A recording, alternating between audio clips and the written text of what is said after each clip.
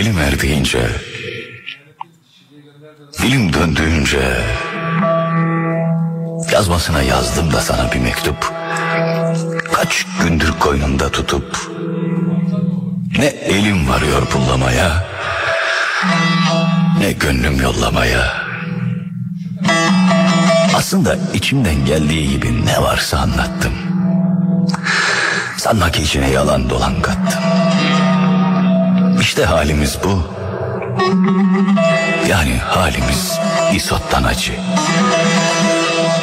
Babanı sorarsan baban ha var ha yok. Artık bu dünyada kiracı. Aklı fikri hala karşı dağlarda. Of of of. Hele bir de iç çekmesi yok mu ardarda? Gelir diyor senin için.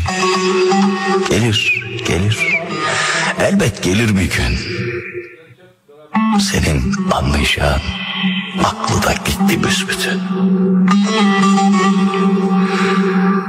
İneğin tekini abişgillere sattık. Bu yüzden alt tarlayı süremedik iki yıldır. Sen tanımazsın. Verdik işte birilerine icara. Belki duymuşsundur kurak gitti buralar bıldır.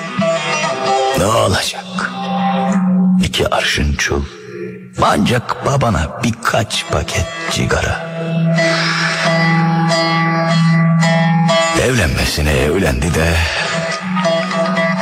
Hakikatli kızmış Hatice. Arada bir uğrar üşenmez sağır ineği.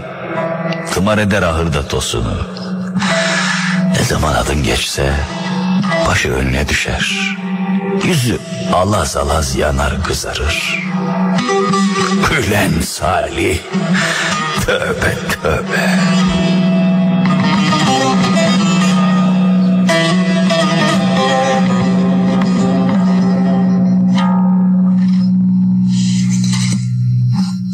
Oğul.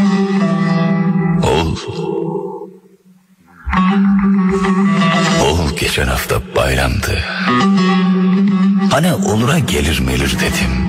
Çıkar bir yerlerden elinde bir kutu lati. Namaz vaktine kurdum ha bile kalkıp kalkıp saati. Yani sen seversin. Bir tepsi baklava açtım. Bir tandırda cevizli kete.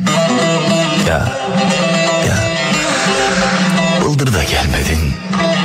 Bu yıl da gelmedin.